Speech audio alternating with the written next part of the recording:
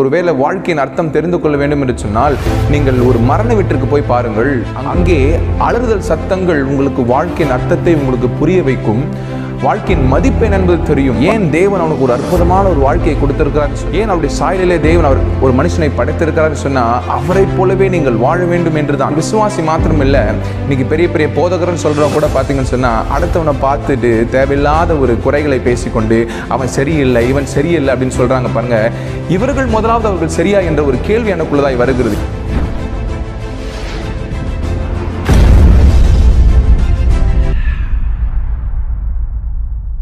ஆண்டவராக இயேசு கிறிஸ்துவின் இன்ப நாமத்தினாலே உங்களை யாவரையும் வாழ்த்துகிறேன். ஸோ இந்த நாளும் நீங்கள் தலைப்பை பார்த்துருப்பீங்க. வாழ்க்கையின் அர்த்தம் என்ன? ஸோ இன்னைக்கு அநேக மனிதர்களுக்கு தான் எதற்காய் வாழுகிறேன்? நான் எப்பேற்பட்ட சாயலிலே இணைக்கப்பட்டிருக்கிறேன். கர்த்தர் ஏன் அவருடைய சாயலிலே என்னை படைத்திருக்கிறார் என்பதை அறியாதனால தான் பாருங்கள் இந்த உலகத்தில் சொல்லுவாங்க லைஃப் இஸ் டூ ஷார்ட் இந்த குறுகியமான ஒரு வாழ்க்கையை கூட இவர்களுக்கு வாழத் தெரியாமல் இருக்கிற இந்த கொஞ்ச நெஞ்சம் வாழ்க்கையிலையும் சண்டை போட்டுக்கிட்டு தேவையில்லாத கோபங்களும் ஈகோகளும் பொறாமைகளும் பொச்சரிப்புகளோடு கூட மனுஷன் இன்னைக்கு வாழ்ந்து தன் வாழ்க்கையை வீணடித்து கொண்டிருக்கிறான். ஏன் தேவன் அவனுக்கு ஒரு அற்புதமான ஒரு வாழ்க்கையை கொடுத்திருக்கிறார் ஏன் அவருடைய சாயலிலே தேவன் அவர் ஒரு மனுஷனை படைத்திருக்கிறார் சொன்னால் அவரை போலவே நீங்கள் வாழ வேண்டும் என்றுதான். ஆனால் மனுஷன் இன்னைக்கு அநேகர்கள் இருளிலே வாழ்ந்து கொண்டிருக்கிறார்கள். ஏனென்றால் அவர்களுக்கு வாழ்க்கையின் அர்த்தம் என்ன என்பது தெரியவில்லை. நான் சொல்கிறேன் உங்களுக்கு ஒரு வேளை வாழ்க்கையின் அர்த்தம் தெரிந்து கொள்ள வேண்டும் என்று சொன்னால் நீங்கள் ஒரு மரண வீட்டிற்கு போய் பாருங்கள். அங்கே அலறுதல் சத்தங்கள் உங்களுக்கு வாழ்க்கையின் அர்த்தத்தை உங்களுக்கு புரிய வைக்கும். வாழ்க்கையின் மதிப்பு என்பது தெரியும். பாருங்க ஒரு பெற்றோர்களை இழந்த பிள்ளைகள் கணவனை இழந்த மனைவி மனைவி இழந்த கணவன் அப்படின்னு சொல்லிட்டு பல உறவுகளை இழந்தவர்கள் அங்கே தவிப்புகளும் உங்கள் கண்ணீர்களும் அங்கே இயக்கங்களும் நீங்கள் பார்க்கும்பொழுது உங்கள் வாழ்க்கையின் அர்த்தத்தை நீங்கள் புரிந்து கொள்வீர்கள். ஏன் எனக்கு தேவன் ஜீவனை கொடுத்திருக்கிறார்? ஏன் என் தேவன் என் குடும்பத்தை காப்பாற்றுகிறார்? ஏன் தேவன் எனக்கு இன்னும் ஒரு மூச்சோடு கூட நீங்கள் நிற்க வைத்திருக்கிறார் என்பதை நீங்கள் புரிந்து கொள்வீங்க. இதை புரிந்து கொள்ளாதனால தான் மனுஷனுக்கு கொடுக்கப்பட்டிருக்கிற இந்த கொஞ்ச வாழ்க்கையிலும் கூட அவன் சண்டை போட்டு தேவையில்லாத எதிர்மறையான சிந்தையோடு கூட இருந்து ஒன்றுக்கும் உதவாமல் அவன் போய் கொண்டிருக்கிறான். பாருங்க மோசியை சொல்லுகிறார் நம்முடைய வாழ்க்கையெல்லாம் நம்முடைய நாட்கள்லாம் எப்படி இருக்குன்னு பார்த்தீங்கன்னு சொன்னால் புள்ளை போல் இருக்குதுன்னு சொல்கிறாரு ஒரு ஒரு கதையை போல் இருக்குதுன்னு சொல்கிறாரு நல்லா புரிந்து கொள்ளுங்கள். உலகத்தின்படி ஒரு சின்ன வாழ்க்கை என்பது ரொம்ப சின்ன ஒரு காரியமாக இருக்கலாம். ஆனால் இயேசு கிறிஸ்து ஏன் வருகிறான்னு பார்த்தீங்கன்னு சொன்னால் நித்திய ஜீவனை தரும்படியாய் வருகிறார். அப்போது ஒரு மனுஷனுக்கு இந்த சின்ன வாழ்க்கையை வாழ தெரியலனா ஒரு நித்திய வாழ்வை அவன் எப்படி வாழ்வான்? ஐ மீன் அதனால தான் பாருங்கள் மோசை சொல்லுகிறார் அவருடைய ஜெபத்தில் சங்கீதம் தொண்ணூறில் பன்னெண்டாவது வசனம் பாருங்கள் நாங்கள் ஞானம் இருதயம் உள்ளவர்களாக இருக்கும்படி எங்கள் நாட்களை என்னும் அறிவை எங்களுக்கு போதித்தருளும். எத்தனை பேர் இந்த மாதிரி நீங்கள் ஜெபிக்கிறீங்க? என்னோட நாட்களை அறிகிற அறிவை என் என்னோட நாட்கள் எதற்காக இருக்கிறேன்? நான் எதற்காய் வாழுகிறேன் என்கின்ற ஒரு அறிவை எனக்கு தேவன் தரும்படியாக நீங்கள் எத்தனை பேர் இங்கே ஜெபிக்கிறீங்க? இன்னைக்கு ஜெபிக்காதனால தான் பிசாசானவன் அநேகருடைய சிந்தைகளிலே விளையாடி கொண்டிருக்கிறான். இன்னைக்கு அநேகர்கள் தங்கள் வாழ்க்கையை வீணடித்துட்டு இருக்கிறாங்க. ஏன் வீணடிக்கிறாங்க அப்படின்னு பார்த்தீங்கன்னு சொன்னால் கர்த்தருடைய வார்த்தையிலே அவர்கள் நிலைத்திருக்கவில்லை.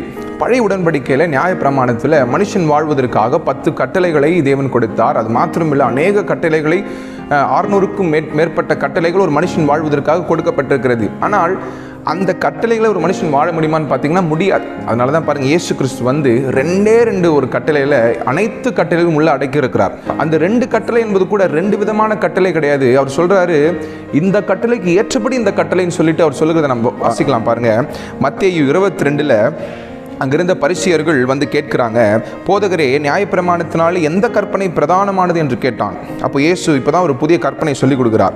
இயேசு அவனை நோக்கி உன் தேவனாகிய கர்த்தரிடத்தில் உன் முழு இருதயத்தோடும் உன் முழு ஆத்மாவோடும் உன் முழு மனதோடும் அன்பு கூறுவாயாக. இது முதலாம் பிரதான கட்டளை. இப்போ அடுத்து சொல்கிறார் பாருங்க இதற்கு ஒப்பாக இருக்கிற ரெண்டாம் கற்பனை என்னவென்றால் உன்னிடத்தில் நீ அன்பு கூறுவது போல பிறனிடத்தில் அன்பு கூறுவாயாக என்பதே. ஆமென் பாருங்க அதுக்கு ஈக்குவலான ஒரு கட்டளை தான் உங்களை நீங்கள் எப்படி நேசிக்கிறீங்களோ அதை போலவே நீங்கள் மற்றவர்களையும் நீங்கள் நேசிக்க வேண்டும். ஏன் தெரியுமா? தேவன் இந்த இந்த கட்டளை சொல்லிக் கொடுக்குறாரு.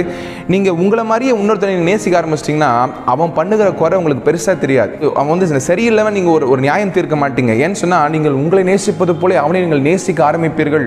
இந்த உலகத்தில் வந்து அநேகர்களுக்கு உங்களை பிடிக்காம இருக்கலாம். ஆனால் உங்களுக்கு உங்களை பிடிக்காம இருக்குமா? அநேக விதமான பாவங்கள் நீங்கள் செய்யலாம். ஆனாலும் பாருங்க உங்களுக்கு உங்களை பிடிக்கும். இந்த இடத்துக்கு தான் தேவன் வர சொல்கிறாரு நீயும் எப்படி உன்னை நீ நேசிக்கிற? என்ன என்னதான் தவறு செய்தாலும் என்னதான் தான் அக்கிரமம் செய்தாலும் உன்னை நீ எப்படி நேசிக்கிறியோ அதே மாதிரி நீ பிறனையும் நேசித்தாயானால் அவருடைய அக்கிரமங்கள் உனக்கு கண்ணுக்கு தெரியாது. அதனால தான் பாருங்க இயேசு கிறிஸ்து உலகத்தில் வந்து அவரை நேசிப்பது போல நம்மளை நேசித்ததுனால தான் நமக்கு ரட்சிப்பை கொடுத்தார். ஹலலோயா இந்த கட்டளை ஒரு மனுஷன் என்றைக்கு தூங்குகிறானோ அன்றிலிருந்து தான் அவன் வாழ்க்கையின் அர்த்தத்தை புரிந்து கொள்ள முடியும். இன்றைக்கி பாருங்க ஒரு சாதாரண ஒரு விசுவாசி மாத்திரம் இல்லை இன்றைக்கி பெரிய பெரிய போதகர்னு சொல்கிறவங்க கூட பார்த்தீங்கன்னு சொன்னால் அடுத்தவனை பார்த்துட்டு தேவையில்லாத ஒரு குறைகளை பேசிக்கொண்டு அவன் சரியில்லை இவன் சரியில்லை அப்படின்னு சொல்கிறாங்க பாருங்கள் இவர்கள் முதலாவது அவர்கள் சரியா என்ற ஒரு கேள்வி எனக்குள்ளதாய் வருகிறது. ஏன்னு சொன்னால் வேதத்தின்படி பார்க்கும்போது யாரையும் நீ குற்றவாளி என்று தீர்க்காதே. தீர்த்தையானால் நீ குற்றவாளியாக இருப்பாய் என்று வேதம் சொல்லுகிறது. அப்போ இவர்கள் எதன் அடிப்படையிலே மற்றவர்களை குற்றவாளி என்று தீர்க்கிறார்கள்? அப்போ இயேசு கிறிஸ்துவின் கட்டளைகளை பின்பற்றவில்லையா? பாருங்க இன்றைக்கு பெரிய போதர்கள் நம்ம பின்பற்றினா கூட இன்றைக்கி வந்து நம்ம பரலோகம் போக முடியுமா? அல்லது இயேசு கிறிஸ்து வரிகள் நம்ம எடுத்துக்கொள்ளப்படுவோமா? அல்லது இயேசு கிறிஸ்து நம்ம உகந்தவர்களாக இருப்போமா என்று தெரியாது. ஆனால் இயேசு கிறிஸ்துவ சொன்ன கட்டளையை நீங்கள் பின்பற்றுங்கள். எந்த போதர்களையும் பார்க்க வேணாம் எந்த விசுவாசியும் பார்க்க வேணாம் அடுத்தவனை பார்க்க வேணாம். இயேசு எனக்கு என்ன சொன்னார்? உன்னை நேசிப்பது போல பிறரையும் நேசி இந்த இடத்திற்கு எந்த மனுஷன் வருகிறானோ அன்றிலிருந்து தான் அவன் வாழ்க்கையில் உண்மையான கிறிஸ்துவத்தை வாழ ஆரம்பிப்பான்.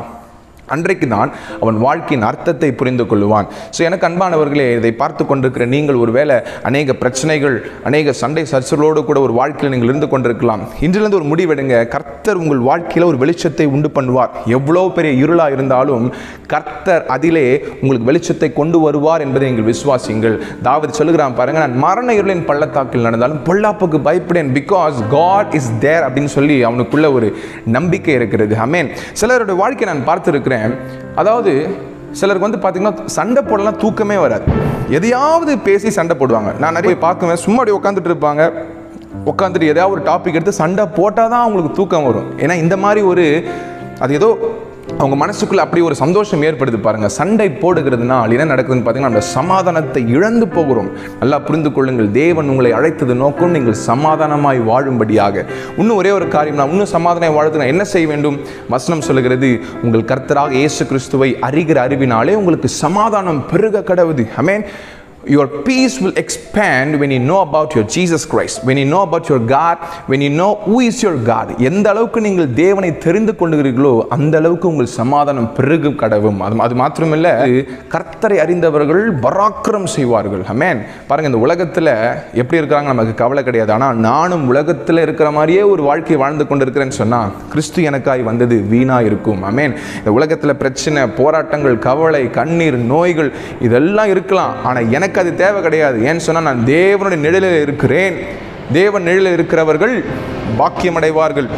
ரொம்ப பயமாக இருக்குன்னா சங்கீதம் தொண்ணூறு போய் பாருங்கள் அநேக வலது பக்கத்தில் ஆயிரம் உருவாங்க. இல்லை இந்த சைடில் பத்தாயிரம் பேர் உருவாங்க. அது என்னை அணுகாது. இப்பேற்பட்ட வாழ்க்கையில் நீங்கள் வாழும்படி அழைக்கப்பட்டிருக்கிறார். அநேகர்களுக்கு பாருங்கள் பரலோகம் போகணும் பரலோகம் போகணும்னு சொல்கிறாங்க அதாவது இங்கே இருக்கிற வாழ்க்கையை தேவன் பரலோகமாய் மாற்ற விருப்பமாக இருக்கிறார். அதை நீங்கள் புரிந்து கொள்ளுங்கள். ஸோ உங்களுடைய வாழ்க்கையின் அர்த்தத்தை புரிந்து வாழ ஆரம்பியுங்கள்.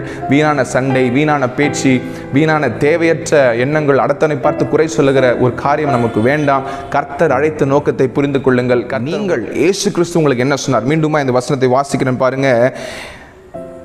உன்னிடத்தில் நீ அன்பு கூறுவது போல பிறனிடத்தில் அன்பு கூறுவாயாக என்று சொல்லியிருக்கிறார். இந்த கட்டளை நாம் பின்பற்றி நாம் வாழ்வோம். அப்பொழுது ஒரு அற்புதமான ஒரு வாழ்க்கைக்குள்ளதாய் நாம் கடந்து போகுவோம். எவன் ஆன் எர்த் அதாவது இந்த பூமியிலேயே பரலோகத்தின் வாழ்க்கையை நீங்கள் அனுபவிக்க ஆரம்பிப்பீர்கள். கர்த்தர் உங்கள் வாழ்க்கையில பெரிய காரியங்களை செய்வார். God bless you all amen